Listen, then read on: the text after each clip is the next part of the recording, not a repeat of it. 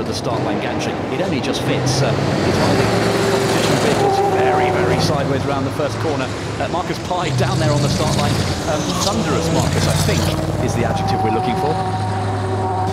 Well, good morning, ladies and gentlemen. Yes, I'm down here on the start line, and uh, we've got the mighty Kamaz trucks on uh, the course, Mercedes-Benz truck going away. We've got a most amazing eclectic mix of machinery down here as ever from